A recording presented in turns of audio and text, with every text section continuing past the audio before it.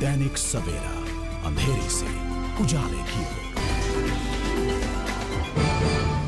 यमुनानगर में hydel power परियोजना के एक कर्मचारी कैलाश को बुधवार रात दो अज्ञात व्यक्तियों ने फ़ोन पर धमकी देते हुए कहा कि जल्द ही जगाधरी रेलवे स्टेशन को बम से उड़ा दिया जाएगा।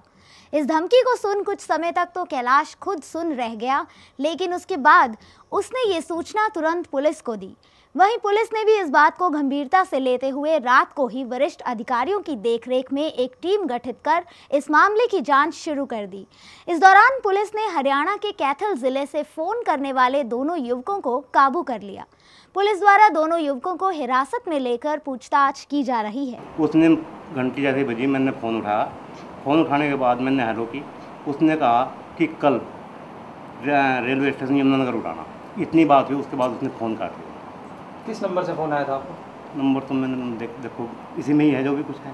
तो आप पूरा तो याद नहीं जी मेरे उसके बाद पुलिस को शिकायत दी? हाँ जी सौ नंबर में कंट्रोल रूम में मैंने खबर की जी फिर रात को मेरे पास पुलिस आई। साढ़े तीन बजे तक पुलिस इंक्वायरी की मेरे पास बैठ के नंबर लेगी सारी जिससे आया वो भी और जिस नंबर पे फ़ोन आया वो भी। ये एक आदमी ने सूचना दी हैगी है हेडल में कि मैं रेडियो स्टेशन को बम से उड़ा दूँगा जी। तो उसके संबंध में हमने केस रजिस्टर करके तफ्तीश कर रहे हैं। उस संबंध में कैथल से हम दो लड़कों को ले आए हैं, इनसे अभी पूछताछ करेंगे कि किसका उसमें क्या क्या रोल है और इनको मुकदमा जमा गिरफ़्तार करके सुबह कोर्ट में पेश कर। Bureau report, Dainik Savera TV.